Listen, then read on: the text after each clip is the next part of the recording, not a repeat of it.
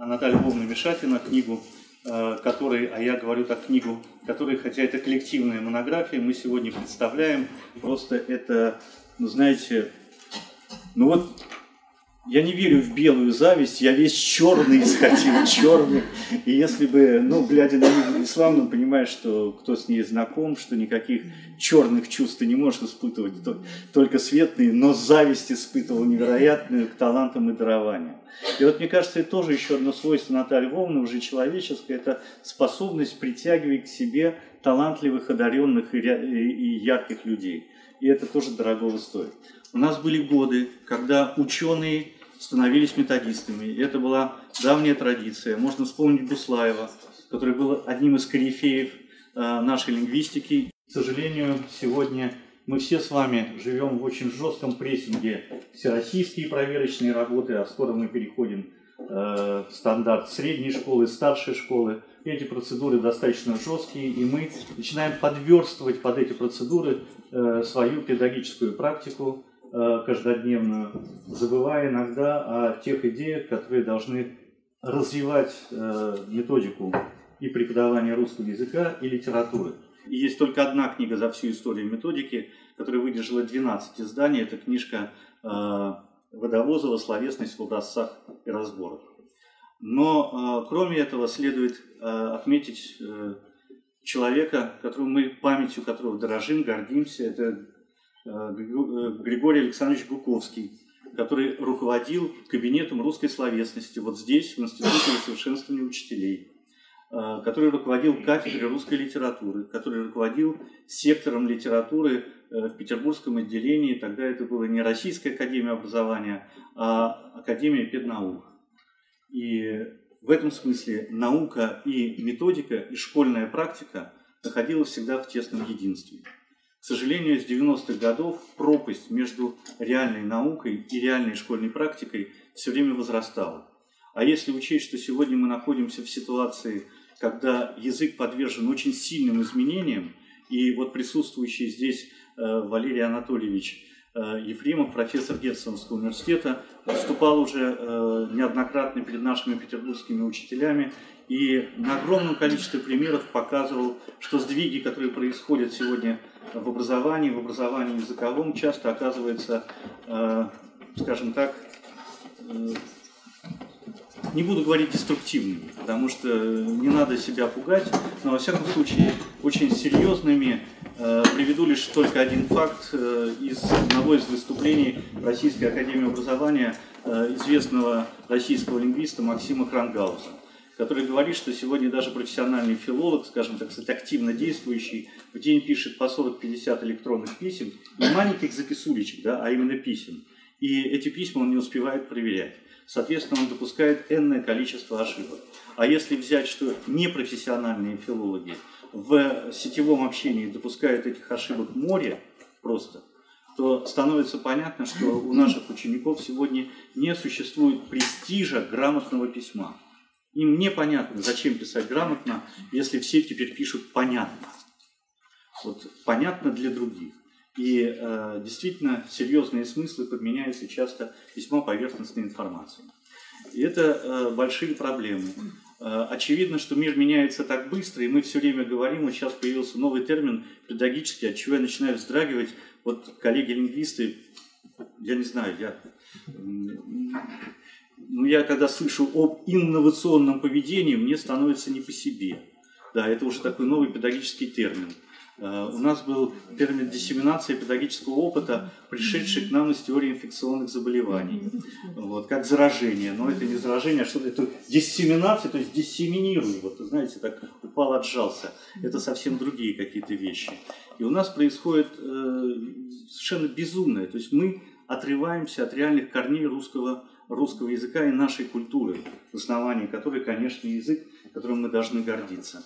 И в этом смысле приведу один пример. Вот э, сегодняшняя коммуникация действительно культура. У великого филолога Гаспарова как-то спросили, и это есть в интервью, э, как он относится к языку эсперанто. Меня совершенно потряс его ответ. Он сказал, я никак не отношусь. У него спросили, вы что, так плохо относитесь к этой возможности людей общаться целым миром, все вместе. Он сказал, да нет, это замечательная идея. Ну просто, говорит, Понимаете, на этом языке еще не написано ни одного великого произведения литературы.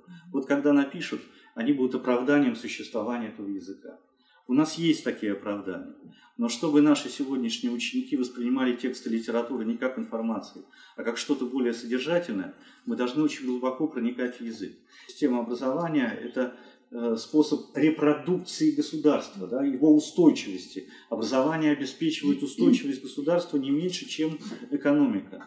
Э, чем жестче государство вторгается в нашу сферу, тем меньше в ней, в ней творчества когда государство, как в 90-е годы, некогда было нами заниматься, мы жили бедно, но счастливо, потому что у нас было очень много творческих поисков.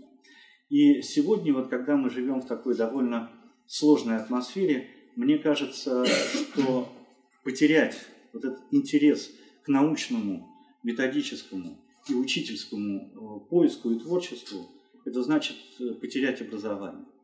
Потому что наши дети сегодня а, ну, я не знаю, инновационное у них или э, от слова энтропия, наверное, энтропиозное, я не знаю, как сказать, так сказать, поведение, но так или иначе они устремлены в будущее, и в отличие от нас, кто живет в традиции, да, они знают, что мир завтра будет совсем не таким, как сегодня. Вот мне кажется, что мы должны их увлечь тем, что есть основания и корни, и что принадлежит, э, как говорил Михаил Михайлович Бахтина, за ним очень многие историки, большому времени. Вот язык с его основами принадлежит большому времени. И мне кажется, вот эта методическая школа, которую по праву возглавляет в России Наталья Львовна, она как раз создает такие условия. И э, есть еще несколько проблем, на которые мы хотели бы обратить ваше внимание. Э, вот очень важно, что э, концепт существует в языке как э, порождающая модель эта порождающая модель способна интегрировать, интегрироваться с разными областями знания. Иногда она вступает в противоречие. Но вот э, меня когда-то всегда занимала миграция терминов из одной научной области в другую.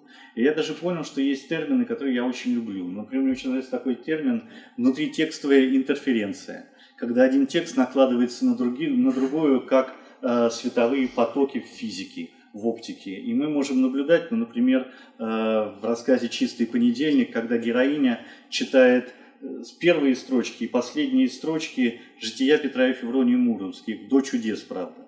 Становится совершенно очевидно, что Бунин вложил текст в текст. И понять Бунина без другого текста невозможно. И вот это очень интересно. И мне кажется, что одна из сильных сторон этой методики, которая будет оценена потом еще не только нашим филологическим сообществом, как раз заключается в том, что эта методика э, говорит о языке в самом широком понимании. Она дифи- проводит, с одной стороны, дифференциацию между наивным языкознанием да, и э, научной картиной мира, как они взаимодействуют. Вот э, у нас на кафедре Ирина Анатольевна, она все время занимается почему-то не меньше с филологами, чем с естественниками. И надо сказать, что на кафедрах естественно-научного образования вот этот концептуальный подход к языку тоже находит э, большой интерес.